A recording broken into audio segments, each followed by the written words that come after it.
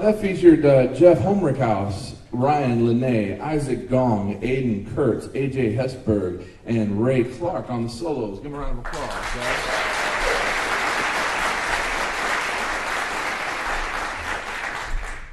One of the fun things about uh, teaching jazz is we get to explore different styles of music within jazz. Uh, the, the, first tune you heard uh, I wrote some time ago, and it's just a blues in B flat.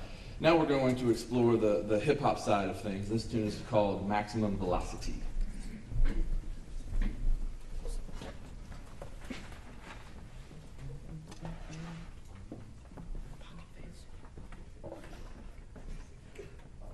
Two, one, two.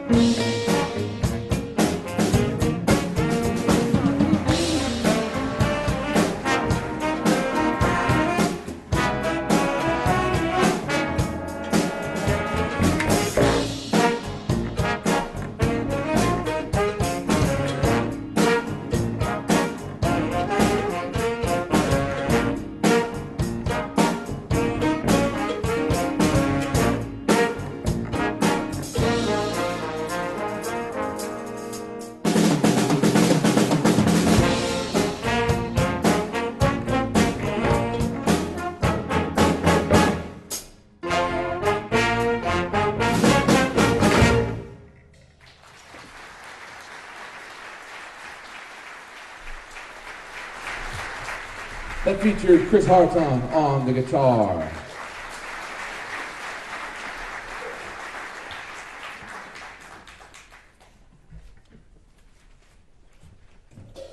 Next up, we're going to play a standard in, in the jazz repertoire. This is called Blues in Hoss Flat.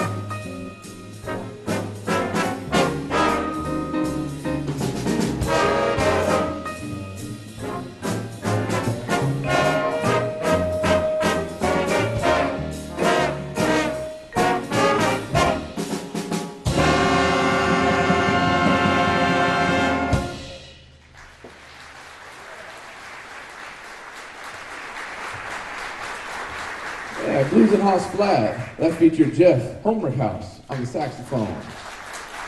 Matt Higgins on the trombone. Sean Smith on the tenor saxophone. Isaac Gong on the trombone. And Aiden Kurtz on the trumpet.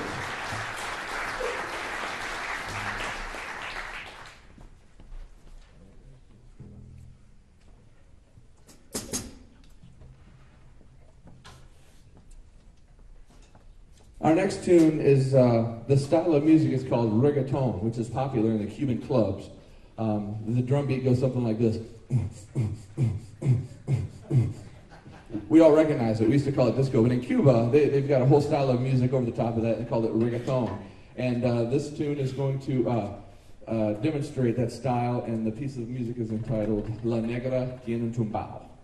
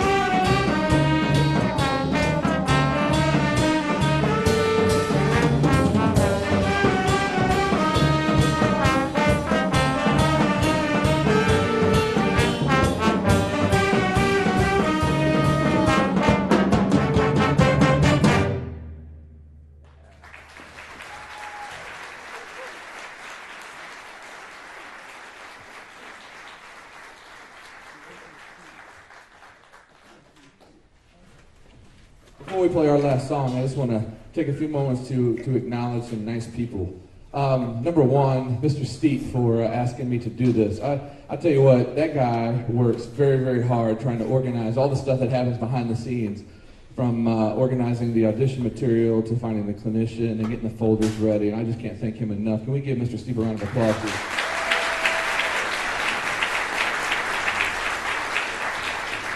Next up, uh, all the St. Louis suburban teachers that get the musicians to this point that uh, that I get to come in. It's, it's, like test driving a Corvette. It's it's it's it's a blast. And I tell you what, uh, I wish I could tell you that um, that there was arguing and drama. There wasn't. These, these, are some of the finest young men and ladies that I've had to work with because uh, every rehearsal. Now, now, keep in mind, and I know you know because you dropped them off, but they rehearsed from 7 till 9 after already a long day of school. They had homework. They came in and they were every bit as chipper and happy and, and easy to get along with at 9 o'clock as they were at 7.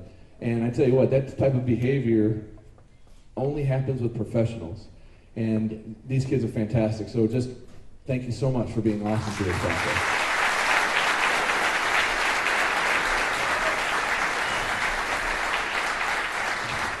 And thank you for supporting music education and jazz education because it's an investment. It's a it, it's it's an investment in finance by purchasing the instruments, and it's an investment in time. And I tell you what, um, it, just on behalf of the students, thank you for supporting music education.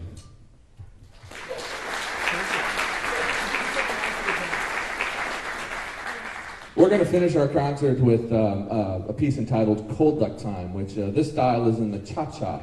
So, um, and, and by and large, I believe this was the, the favorite song of most of the band. So, um, Sean, what time is it? It's cold duck time. It's Cold Duck Time.